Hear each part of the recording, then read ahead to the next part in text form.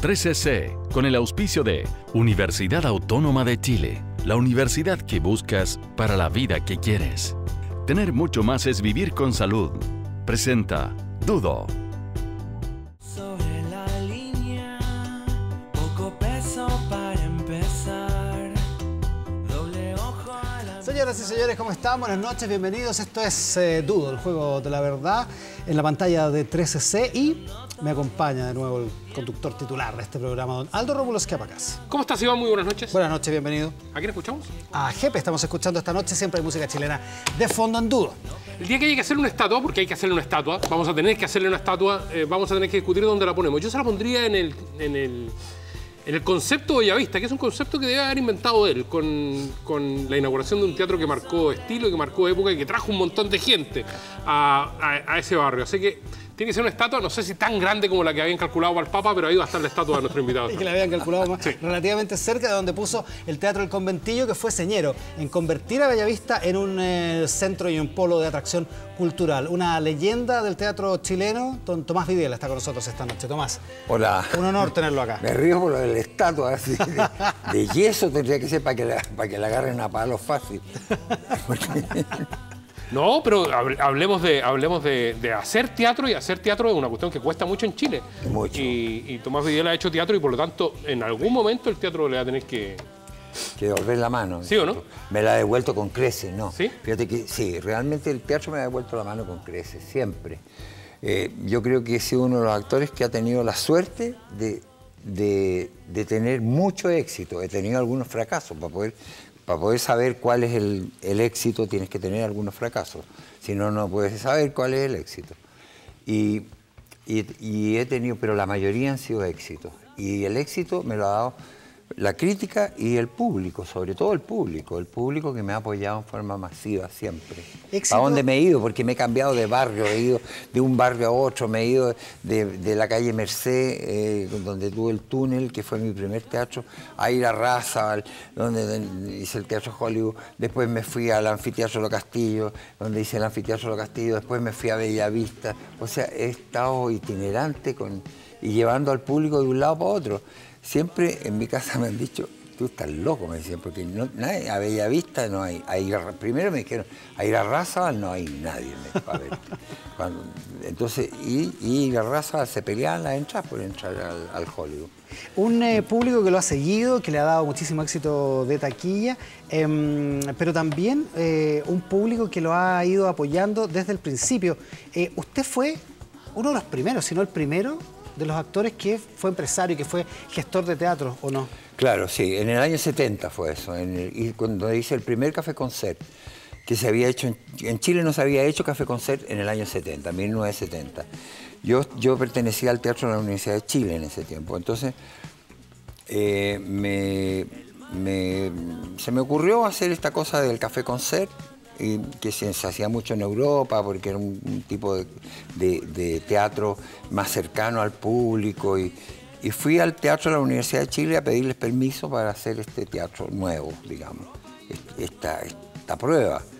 Y le dije, denme permiso sin sueldo, porque yo tenía sueldo en ese tiempo, yo empecé a los 16 años en el teatro. Entonces yo eh, dije, denme permiso sin sueldo para poder intentar hacer este teatro nuevo que, es Café Concert. No sé cómo me irá a ir, lo voy a hacer en una casa vieja, en un, en un cuarto piso, ahí en el Nahuel Jazz, qué sé yo. Entonces me dijeron, no, me dijeron, no te podemos dar permiso, o te quedas o te vas. Entonces yo inmediatamente dije, ah, me voy entonces.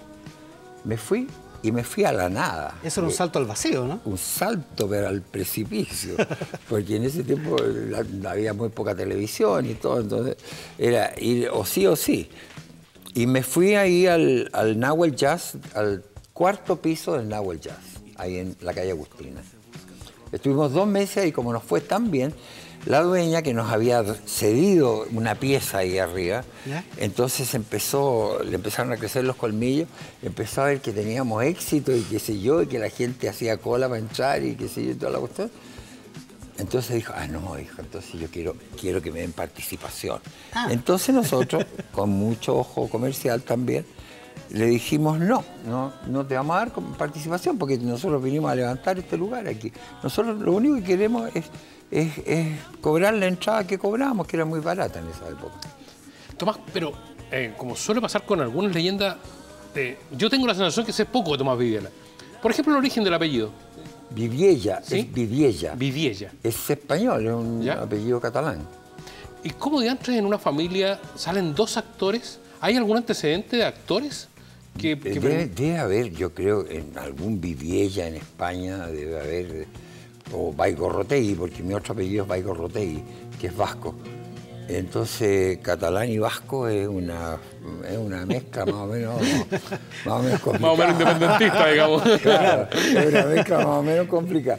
Entonces, este, bueno, y mi hermana Eliana y yo nos dedicamos al teatro siempre. O sea, ni su papá ni su mamá tenían no, no, pero yo ¿no? creo que algún Tony tenemos que haber tenido en la familia, yo creo. ¿Ah? Algún Tony, al- alguien que se haya dedicado al circo, al saltimbanqui, a- alguna cosa así tiene que haber. Porque con su hermana hacían circo cuando jugaban de chicos. Claro, hacíamos circo con Liliana. Eh, hacíamos circo y lo pasábamos chancho porque, porque cobrábamos por la entrada en esa época, entonces le cobrábamos a los cabros del barrio. Tomás, pero lo, lo suyo fue siempre teatro? Siempre teatro. ¿O alguna, O sea, hubo algún momento en que... No, nunca dudé. Yo cuando, la primera vez que fui al, al Circo Caupolicán, me acuerdo, al, al, al Caupolicán, donde después hice temporadas tan bonitas con Cabaret Bijou, hice, hice tres temporadas de 40 días seguidos En el Teatro en Caupolicán. el Teatro Caupolicán, con el Teatro Caupolicán lleno. Eso no lo ha hecho nadie nunca, ni lo hará nadie nunca en la historia. Mientras vivamos est- estos, estos periodos, digamos, que, que nos toca vivir. Eh, pero bueno, en ese teatro yo fue lo primero que vi, fue el circo, las águilas humanas. Y, vi los Tony ahí y me quedé fascinado con, el espectáculo, con ver esos gallos que estaban con la cara pintada, divertida, pero que, detrás había una, otra cosa. No era solamente la cara pintada, sino que era, era, era una gente que estaba ahí, un ser humano que había atrás, que hacía mover esta marioneta que era el Tony. Y, y me, me encantó eso, me fascinó esa cuestión. Como niño me encantó eso y dije, esto es lo que yo quiero ser. Y entonces, cuando después me llevaron a ver a Lucho Córdoba, mi mamá, el que siempre nos llevaba al teatro cuando chico, entonces al teatro, ahí al, tea- al- al Imperio, al Teatro Imperio, ahí en el Estado, eh, me acuerdo que eh, ahí descubrí el teatro, entonces ya había otra cosa que era más, más importante que el circo, que era el teatro. Y ahí ya, ya dije, yo quiero hacer esto. Y después nunca lo, nunca lo dudó en, en ninguno de los colegios por los que pasó, porque dicen que pasó por varios colegios. Por todos, por, absolutamente todo. ¿Era, mala- era Eh, mal no, o sea, comportado? es que no, lo que pasa es que yo tenía otras aspiraciones, más que estudiar química y biología y, y eso, yo necesitaba una cosa que me, que me llenara más la cabeza, el espíritu, ¿Que la, idea. Claro, y entonces eso me llevó siempre a, a hacer, eh, bueno, aburrirme en el colegio realmente. Era una- un, un mal que hay que pasarlo, pero dije yo, bueno, ojalá que se acabe luego esta cuestión. Entonces, entonces me distraía mucho en las clases, era muy hiperkinético además. Tomás menciona a su madre que lo llevaba siempre al teatro y que además los crió a los tres, ¿no? Sí, a los tres. Mi madre y, bueno, mi padre, desde luego, y que bueno, mis padres se separaron cuando éramos muy chicos, nosotros teníamos, yo tenía como ocho años, cuando mi papá se separó. Y- entonces mi mamá, bueno, sí, es, que yo pasé, nosotros todos los hermanos pasamos, mis dos hermanas y yo, pasamos casi todo el tiempo internos, en colegios internados, claro. En, en el, en el Barro Sarán, en el, en el patrocinio de San José primero, cuando éramos más chicos, yo en el patrocinio de San José, mi hermana en las monjas carmelitas, y, y, ¿cómo se llama? Y después al internado Barro Sarana. Entonces, estar internado para mí era como estar preso. Y se veían re poco con son- Eh, Poco, nos veíamos, claro que nos veíamos poco. los fines de semana, ¿no? Por- claro, o sea, no, porque en, en el, bueno, en el patrocinio de San José salíamos una vez al mes. ¿Una Iba- vez al mes? Una vez al mes íbamos a la casa. Chuta. Eh, y aquí en Bellavista. Justamente. Bellavista algo tiene conmigo, ¿eh? Sí, algo me debe Bellavista. Y yo le debo a Bellavista. Ahí, ahí tiene un karma. eh. No, y yo le debo a Bellavista también. Hay que ser honesto. Yo le debo a Bellavista mucho. Vamos a hablar del, debo- del- del resurgimiento del barrio o del surgimiento de Bellavista como, como polo cultural, pero es interesante esto porque eh, lo que estaba contando, usted estaba interno, sus papás se separaron, o sea, cuando sus papás se separan, no Yo no- creo no- que no hay- afortunadamente tuve esa vida, fíjate, porque fue una vida difícil. Fue como estar preso. Entonces, la sensación de querer estar libre era, fue demasiado importante. Para mí la libertad es muy importante, en todo orden de cosas. Entonces, y, y- ¿cómo se llama? Entonces, estar libre. Entonces, una cosa que anhelé tanto en el colegio, en ese periodo de colegio, cuando pude salir, salí como, como a descubrir el- este mundo que no conocía prácticamente porque conocía el mundo del colegio. Una libertad y una independencia que ya decíamos que podíamos atribuirle a sus apellidos catalán y vasco, eh, una independencia que, eh, que también tuvo de, su- de la figura de su padre, digamos, porque no tuvo una relación cercana con él, ¿no? Mm, Con, con mi papá, es que mi papá era una persona eh, dedicada a los negocios, entonces mi papá encontraba que si yo, si sus hijos se dedicaban al teatro, era como un oprobio para la familia. Dedicarse al teatro era, era una profesión mirada como, como carne cogote. Entonces era como, no, la parte peor del pollo. Era, ¿Pero qué? ¿Era como de medio pelo? ¿Era como, No, era, como, mediocre? Era medio picante, medio Ah, mediocre, medio. Entonces era muy difícil. Y además, mi papá me dijo, me acuerdo, eh, cuando le dije voy a entrar a la universidad, papá, a estudiar teatro. Entonces mi papá me dijo, te vas a morir de hambre, me dijo. Tan simple. te vas a morir de hambre, me dijo. ¿Pero por qué? Le dije. Entonces, sí, me dijo, porque nadie, ¿qué, qué actor de- ha, ha surgido? No, Pero ahí de todas maneras- Menos mal que se equivocó. Se equivocó porque yo creo que eh, en el, el gen del, el gen del empresario, del rebuscarse, también está, ¿o no? Claro, no, yo soy lo más busquilla que hay. ¿Sí? Sí, claro, yo, eh, para mí no existe el no, o sea, eh, eh, tiene que ser, eh, eh, todo lo, lo- lo tengo que, me, me cuesta mucho conseguir las cosas a veces, pero no me han salido fáciles, pero soy bien luchador, creo que eso... Es verdad que le tiraba perdigón a los muebles para que parecieran que, te- que tuvieran hoyo, ¿no? Era un negocio que tenía. Claro. Hizo cuando- muebles en una época. Sí, claro. ¿Trabajó no- desde, desde que empezó la universidad? Siempre, porque es que tenía que trabajar, porque tenía que trabajar para poder subsistir. La universidad era gratis en esa época. Era gratis en esa época la universidad. Pero Pero, había que- teníamos que comer, pues entonces, y todos trabajábamos en la casa. Todo. ¿Y qué, qué cosas hacía? Eh, bueno, yo eh, hacía, me vendía matute en un tiempo, o sea, me iba a Mendoza a comprar eh, Pecosville en esa época. Los blue jeans, ¿Sí? blue jeans, Pecosville, y traía para vender y le vendía a mis amigos. Matutear. Eh, ¿Y, lo- claro, los muebles que fue después? Y después de eso fue cuando, cuando ya había hecho la universidad.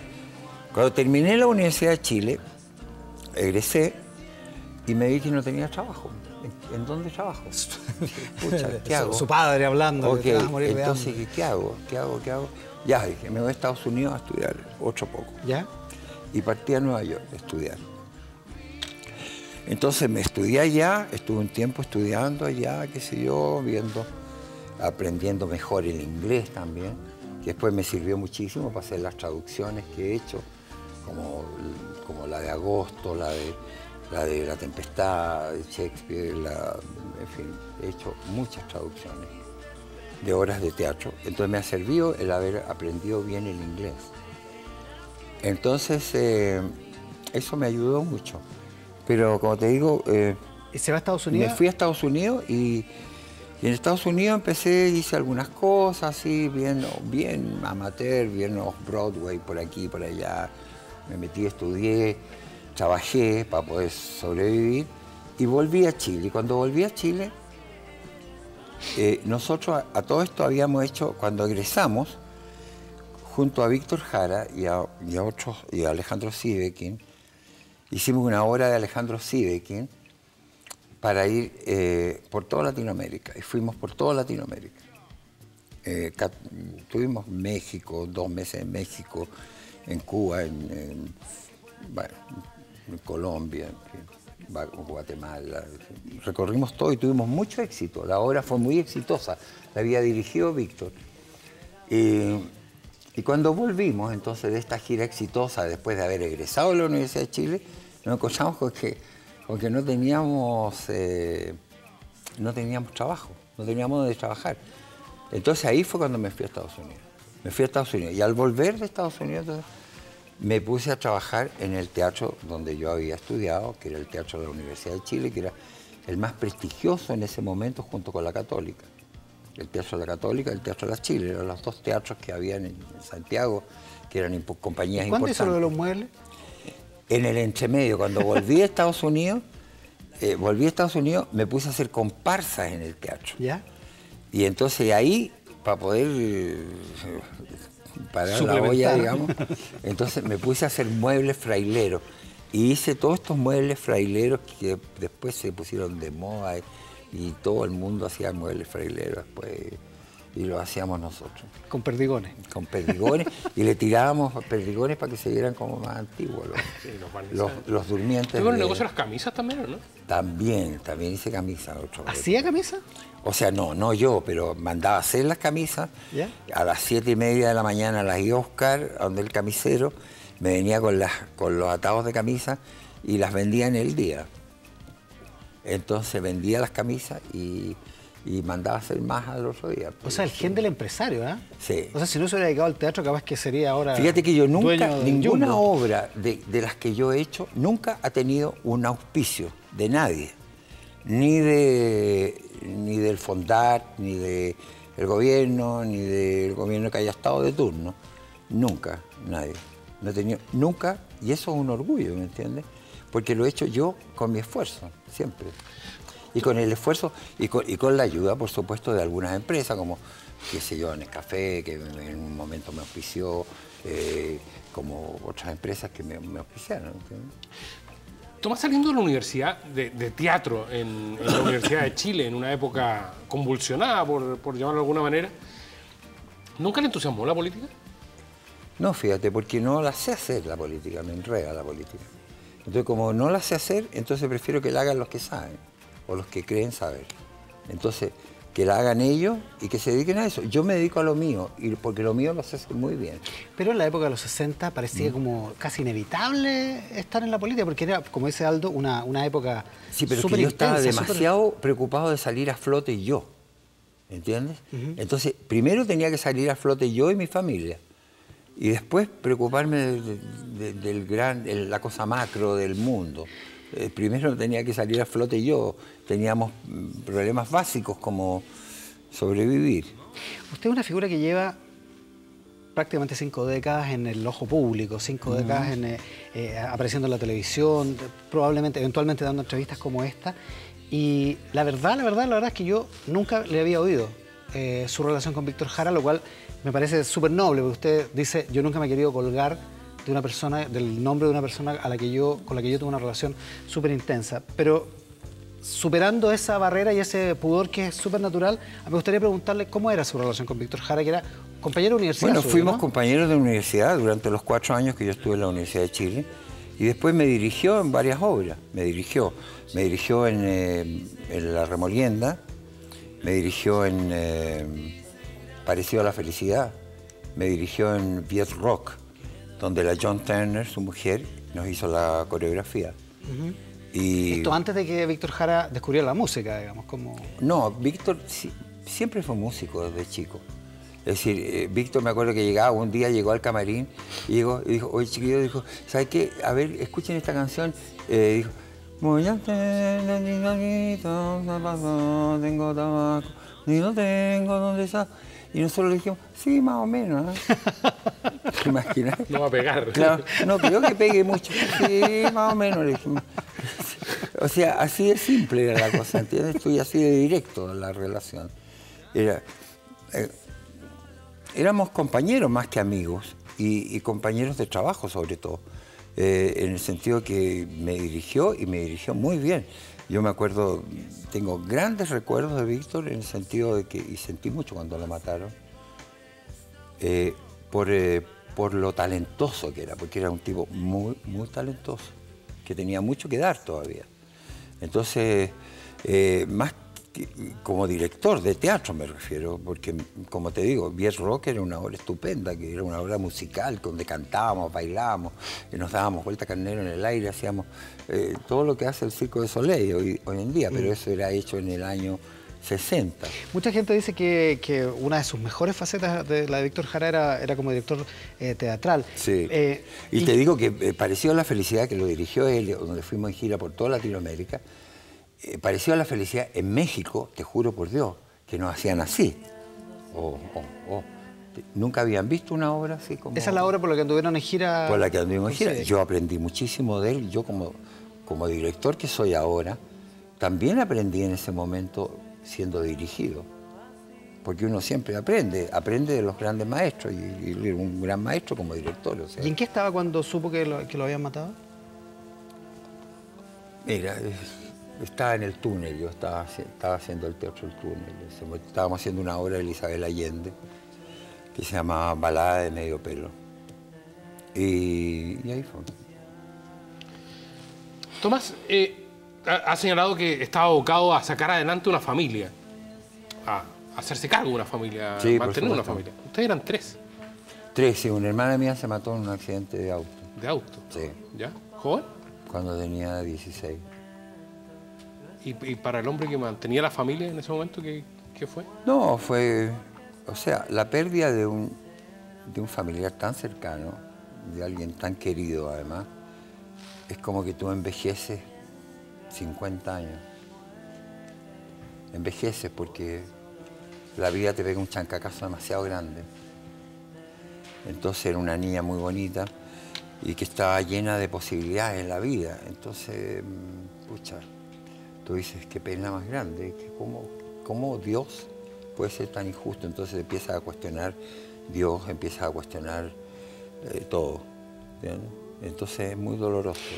¿Y usted cuando chico era un hombre religioso? ¿Tenía...?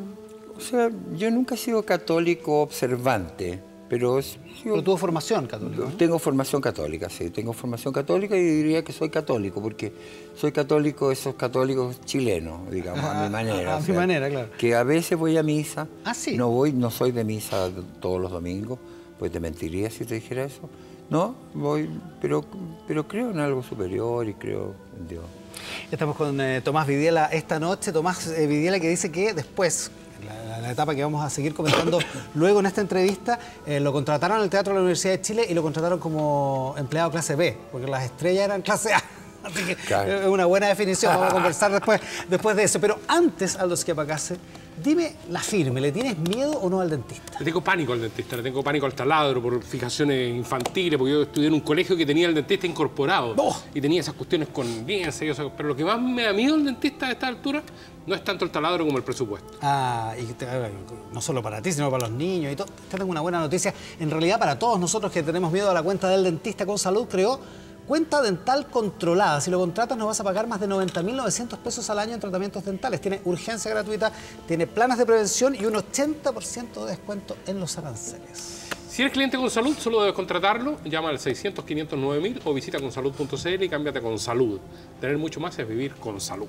Eh, es buena esa definición que hace usted, Tomás, de que, que era como empleado clase B en el Teatro de la Chile.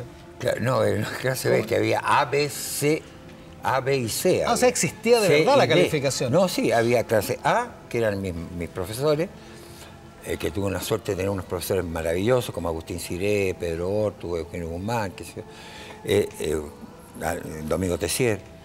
Y, y después venía la clase B, que éramos los, nosotros, los que, está- o sea, los que estábamos en la clase B. Después venía la C y la D. No estaba tan mal entonces. No, sí estaba muy bien. Por eso que dejar esa clase B, me acuerdo que se lo dije a una amiga, y le dije, cuando salí de la reunión, le dije, fíjate que me voy a ir del teatro y voy a renunciar al sueldo. Entonces me dijo, tú estás loco, me dijo. Porque era un sueldo fijo, era, Era un ser sueldo empleado, todos los meses, pues era sueldo ser empleado.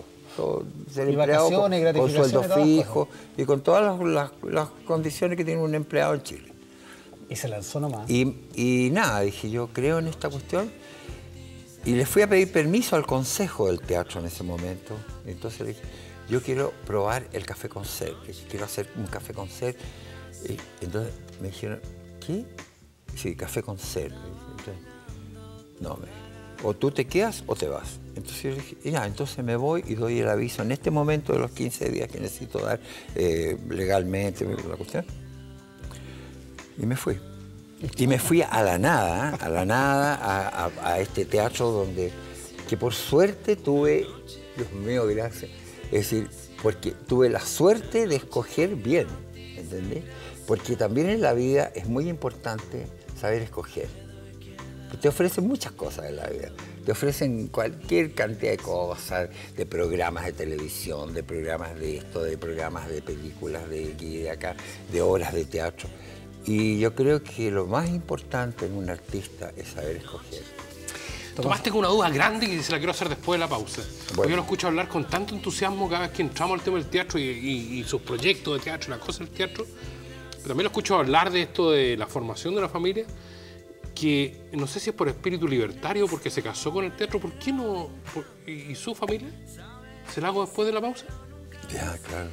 Volvemos con Tomás Vidiela. Jefe está en la música esta noche en dúo. Estamos haciendo el juego de la verdad por la pantalla de 13C. A la vuelta seguimos con Tomás Vidiela.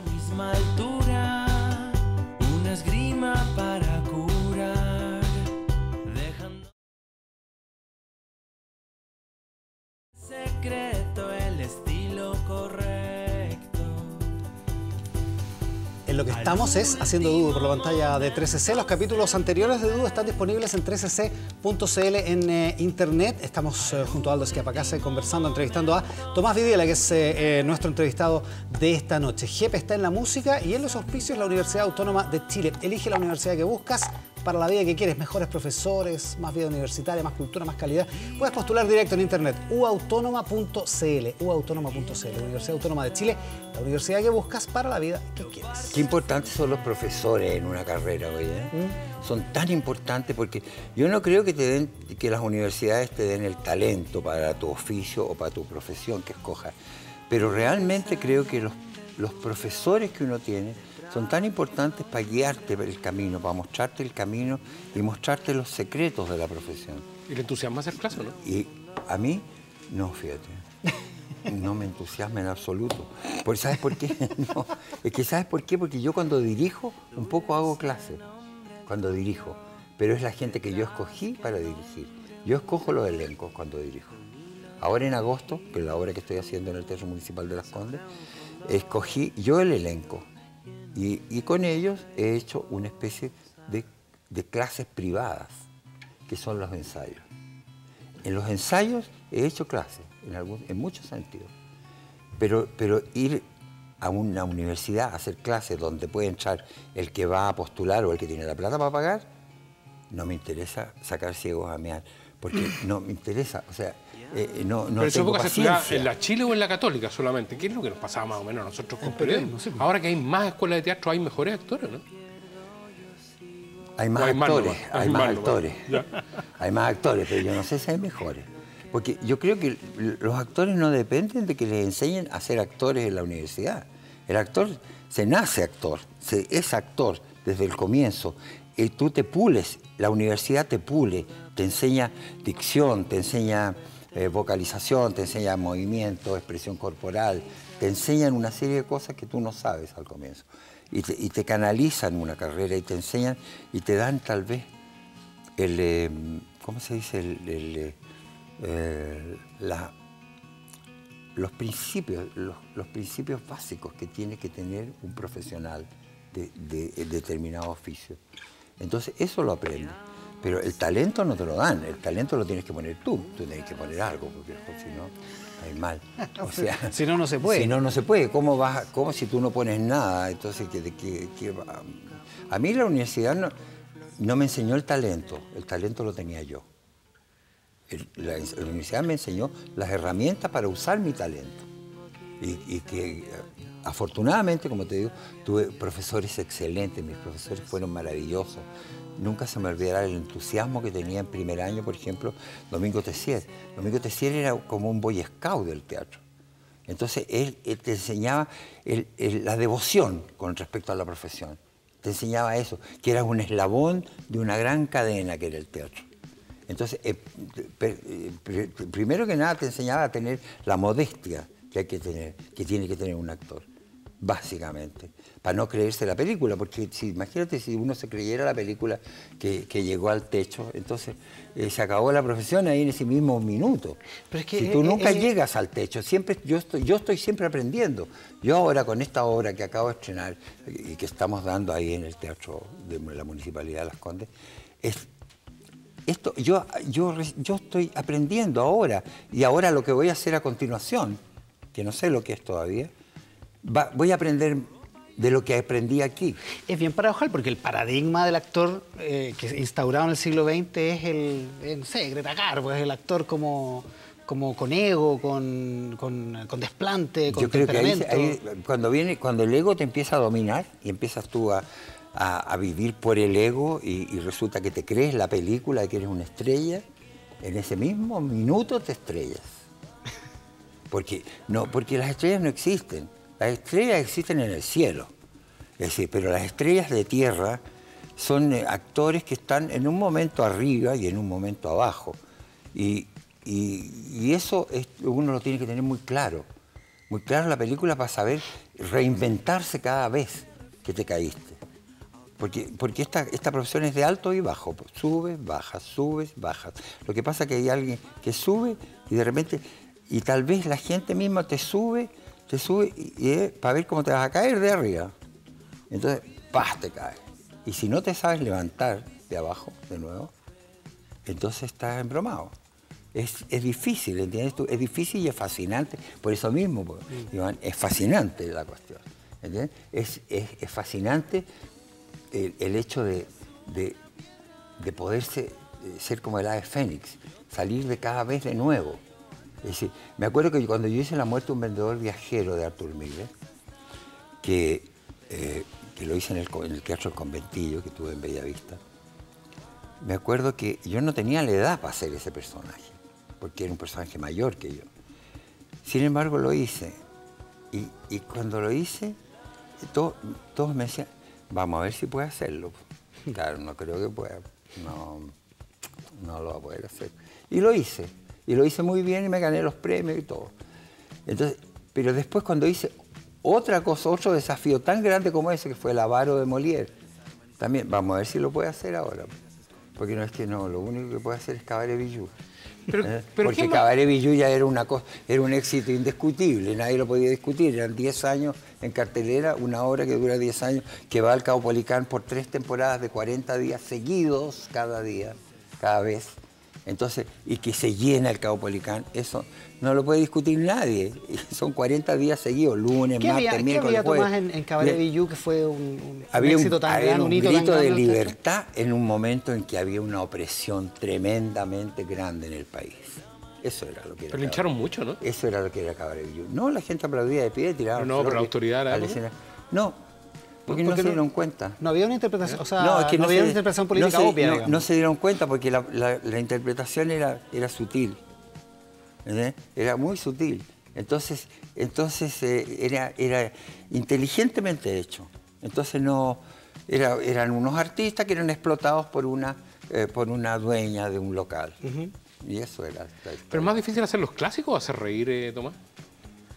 Todo es difícil, si se hace, si es para hacerlo bien, todo es difícil, es muy difícil. Pero digamos que, el- eh, que, que desde el punto de vista de la comedia, de la comedia bien hecha, la No, comedia ya la comedia teatro, bien digamos, hecha es muy difícil de hacer.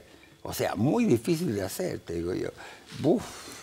Que es tremendamente difícil, te lo digo yo, y te lo dice un ferretero, porque yo he hecho comedia y he hecho dramas fuertes, como ¿Quién le tiene miedo a Virginia Woolf?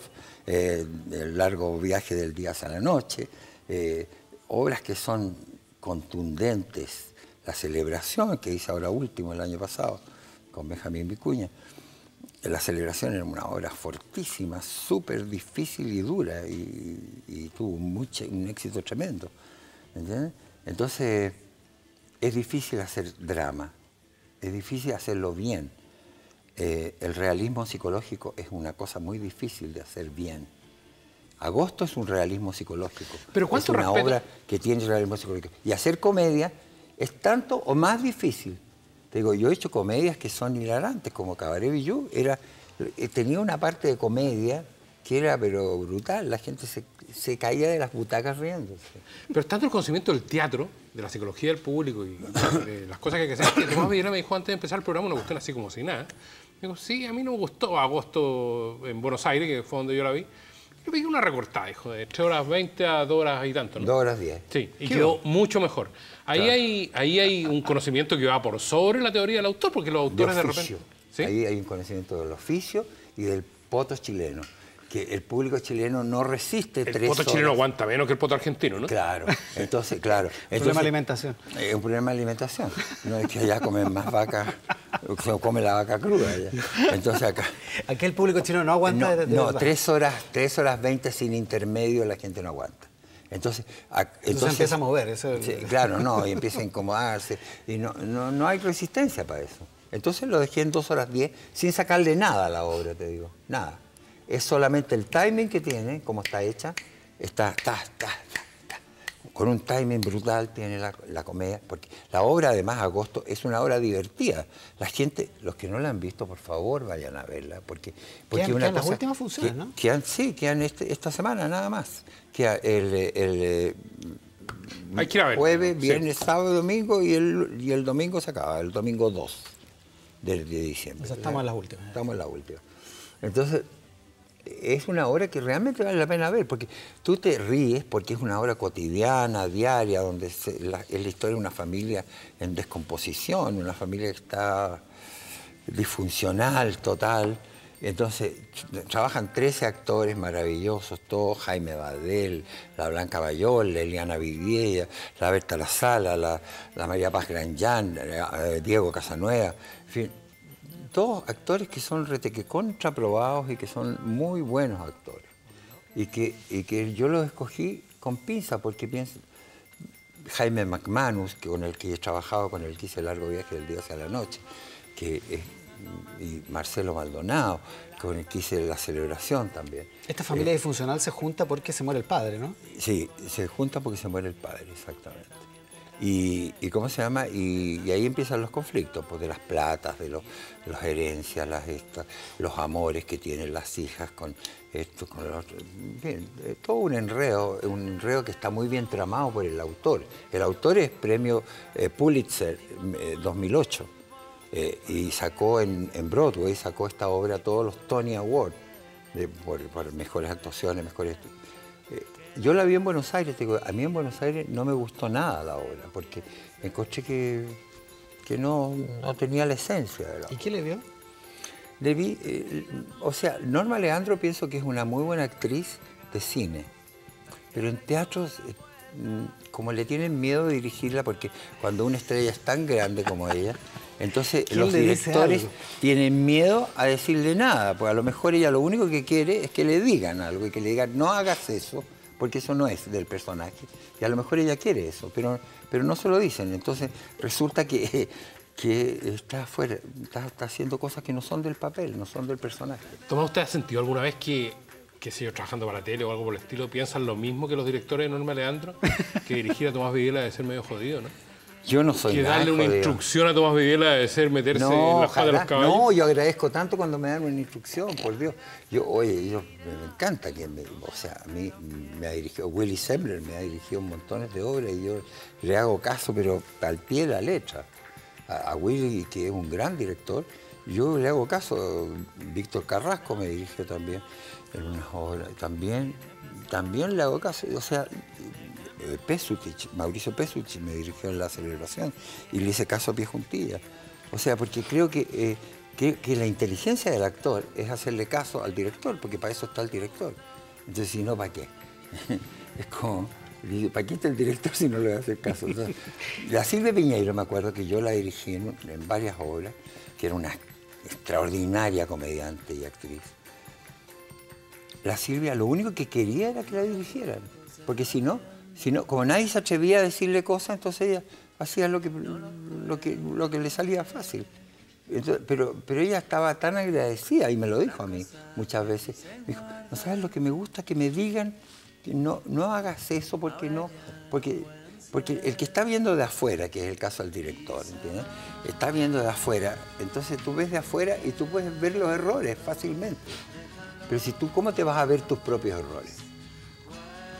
Usted decía que usted cuando dirige enseña. ¿Ya? Sí, claro. ¿Y qué enseña?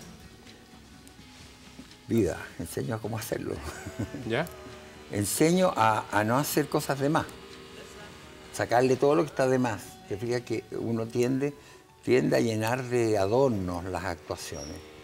De llenarla de adornos, de, de- de aleteos de manos, de, de cosas. Entonces todo eso le digo, no. Y hablemos de corrido, le digo a los actores. Oye, primero que nada, respiren. Porque nadie respira cuando está actuando, ¿te fijas? No respira la gente. Respiren, es- es- piensen y háblenle al, al interlocutor y escuchen al que está hablando. Escuchen y respondan a lo que le están hablando. ¿Entiendes? Esas cosas. No es muy distinto de entrevistar. eso, Cosas muy simples. Eh, eh, Cosas claro. bien- son cosas bien básicas. Son cosas bien básicas, pero son cosas que de repente uno no las... eh, no, la gente no sabe escuchar en general. Entonces, en general escucha lo que te están diciendo y contesta de acuerdo a lo que te están preguntando o diciendo. Entonces, eh, hagamos eso, juguemos a eso y juguemos a, a- decirlo de verdad y hablemos de corrido, no acentuando cada frase como en esto, con el diciendo, eh, señores, esta noche que quiero que vengan a mi casa. Con la mano. Eh, con la mano. Eh, entonces, no, si, oye, quiero que vengan esta noche a mi casa, punto. Así, eh, así, el diálogo va así, como la vida real. O sea, yo trato de que sea, cuando es realista la obra, pienso que lo mejor es que sea como vida real. En el teatro, como, escenario. como director, ¿nunca tuvo un discípulo? ¿O discípulos? No sé, es que, yo, es que yo no me creo tan la película. si yo- eso es lo que pasa. Sí, ese es el problema. Te juro por Dios que no me la creo. Y yo no tengo sentido, no tengo sentido histórico además. Entonces, para mí las cosas que se hicieron, se hicieron, están en el pasado. Y siento un honor tremendo de grande haber hecho las dos únicas obras de teatro que tiene Isabel Allende, se las hice yo. La balada de medio pelo y la casa de los siete espejos. Es decir, tengo el honor de haberlas hecho yo y haberlas dirigido yo, las dos. Entonces, eso, pucha, qué alegría tan grande que la Isabel hoy en día sea tan importante en el mundo. ¿ah? Pero yo cuando viene para Chile yo no la llamo, no la voy a ver, ¿entendí? Porque sería como irme a colgar de ella, pues, ¿para qué? Y- si ella fue fantástica cuando tenía la citroneta pintada con flores aquí, color lila, y andábamos en la citroneta de ella y, y iba a su casa y, y- escribíamos el, ballet de las gordas y todas esas cosas. Era fantástico, pero era ahí, era ese momento. Entonces, después la Isabel ha venido a Chile, yo sé que ha venido porque me, he enterado, pero, pero no, es otra cosa, pasó ya. Tomás, volviendo a la pregunta que dejamos antes del corte, eh, valoró mucho su libertad, se casó con el teatro, se abocó demasiado. eh, De todo un poco, porque ¿Sí? imagínate, después, de, después del aplauso, tú cuando recibes... Pero se lo pregunto por la familia, recibes los aplausos de pie, tú necesitas que haya alguien detrás, que te esté esperando a la salida de todos esos aplausos, porque el vacío que queda después de, de todos esos tremendos aplausos, cuando con, con un Caupolicán lleno, dime tú, 7.000 personas aplaudiendo de pie y tirándote flores y monitos de peluche como que fuera un cantante de rock. Entonces, eh, tú te vas para la casa, necesitas que te contengan en la casa, que te contenga eh, tu gente, la gente con que tú vives, la gente con que tú haces la vida. Pero, pero claro que lo necesitas porque si no, imagínate, el pozo de soledad es demasiado, sería demasiado grande. Ahora, que yo no hable de mi vida privada es otro cuento, porque no quiero, no- quiero dejarme una parte para mí, ya que, ya que toda mi vida es tan pública, entonces quiero dejarme una parte para mí para tener algo yo, porque no soy tan generoso. o sea, no, no a ese extremo, digamos. no, no sé si le al extremo ya. Entonces, de, de- de lo, eso, lo poco, lo poco y nada que es mío, dejarlo, dejármelo para mí. ¿Y nunca habló, nunca habló nada? Nunca, nunca en mi vida. Jamás se dio la tentación. Jamás digamos. me dio la tentación ni nada. Porque, Te vamos a poner en la portada porque no sé qué. porque no, no, no creo en esas cosas. Yo creo que lo, lo pri- lo privado es privado y es de uno. Es de uno y uno se alinea su tomatito. Cada uno se alinea su tomatito. Lo que se ha dicho es que no tuvo hijos, pero tuvo nueve en rigor. Tuvo nueve, Nueve teatros que fueron mis hijos, claro. ¿Por qué, Nueve. por, por qué es tan difícil hacer un teatro? ¿Por qué? Porque ahora usted no tiene un teatro. Mm, Porque me cabré. Me cabré. Porque me cabré, ya tuve nueve. Hice nueve teatros en Chile, hacer nueve teatros entre el año 70 y el año 83, que fue cuando vendí el conventillo, que fue el último teatro mío. Eh, yo dije, no puedo hacer, porque yo viví durante el 70, del 70 al 83, viví perdiendo unas ocho horas diarias en la parte burocrática del teatro, que no me interesa para nada.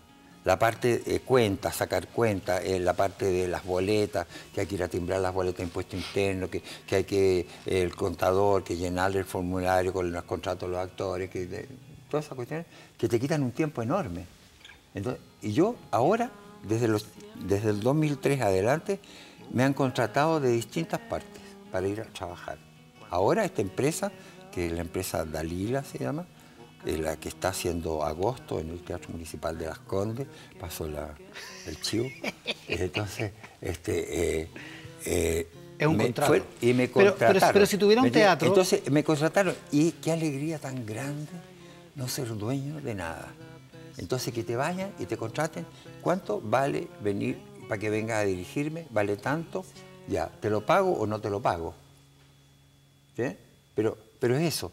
No es que yo tenga que preocuparme de que la- de los baños estén limpios, de que, de que, el- de que venga el acomodador, asunto de los gastos de que comunes los gastos eso. comunes, de que el foco de 4 se quemó, se quemó un par 56, el par, los 38, los- la, la hilera de par 38 se, se quemaron todos porque resulta que lo enchufaron mal. Ahora, y con, el último, con el último de sus hijos, lo decíamos con, con Aldo, Ajá. eh, en la práctica inauguró el barrio Bellavista El como lo que sí, conocemos. Sí, sea, y con mucho honor y no había gloria. nada en esa época todavía, ¿no? Nada, cuando me fui para el barrio de Bellavista, es- no, existía el, el El Venecia. Venecia. Mm. El Venecia y adentro, por allá en la calle, en una calle eh, que no me acuerdo en este momento cómo se llama, eh, estaba Ma- Malincroft, no, en una calle de, la de adentro, ¿eh? estaba Jaime Badel con, con el Teatro La Feria. Ah, claro, en Crucero que tenía el Etcétera. Teatro La Feria. El Crucero, etcétera, eso.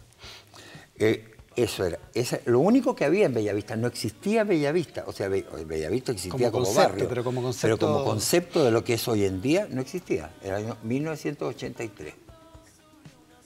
Entonces yo llegué ahí y me acuerdo que la Maite Montenegro me vio arriba de una ruma de tierra que, había- que había botado uno- una pared de adobe y me, y, y me dice, ¿qué estoy haciendo aquí? Me dice, no, le digo, me voy a hacer un teatro aquí.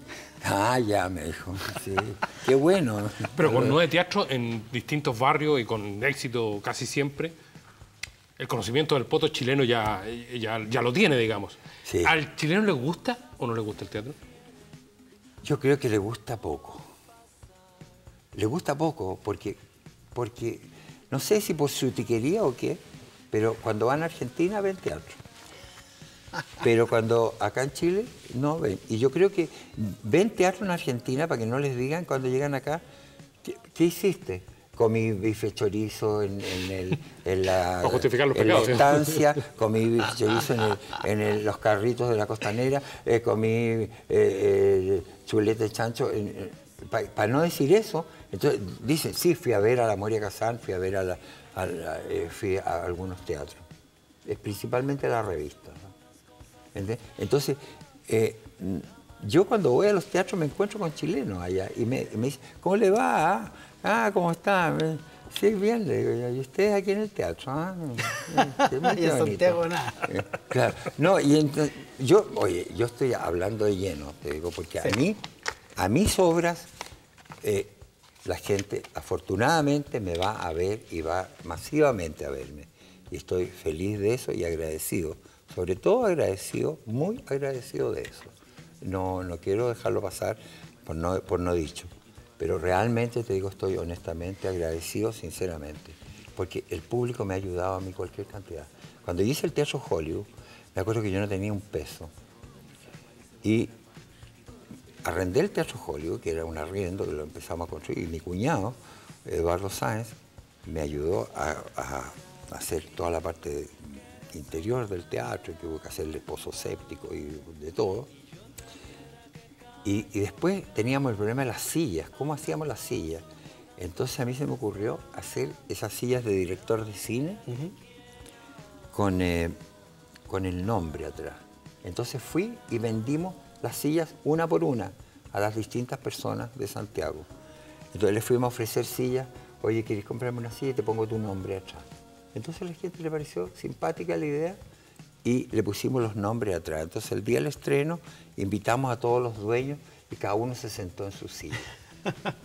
Entonces con eso financiamos la silla. Las sillas del Teatro Municipal de Las Condes no tienen nombre, pero eh, están eh, bastante ocupadas en esta temporada de dos meses de agosto, que es la obra que está dirigiendo Tomás Videla y que tiene este fin de semana sus últimas, sus últimas funciones en cartelera. Tomás, ha sido realmente un, un honor tenerte acá. Para mí también, les digo, no me esperaba esta entrevista, no sabía de qué se trataba porque no lo había visto nunca el programa, perdón lo, Nosotros tampoco, lo- honesto. Eh, no, no lo había visto por, por problemas de tiempo, por problemas de horario, no lo había visto. Y estoy muy agradecido, estoy muy agradecido de un programa donde se puede hablar y se puede, eh, dejan hablar. pues. O sea, no, no te están haciendo como, oye, digamos, y, y acuérdense de con salud, que, que arregla las clavijas. El compromiso es eh, ir, quedan muy pocas funciones de agosto, vamos a ir a, vamos a hacer el esfuerzo de ir en este fin de semana que está, está marcado por la Teletón, pero además por el compromiso con el teatro chileno. Tomás, esperamos verlo. Aldo. Gracias, Aldo, muchas gracias. Gracias, Tomás. Aldo, muy buenas noches. Chao. Fue el juego de la verdad, Jefe estuvo en la música. A ustedes muchas gracias por estar ahí. universo lento de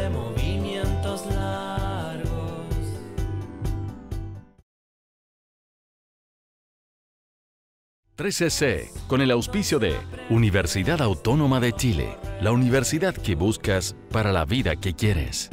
Tener mucho más es vivir con salud. Presentó Dudo,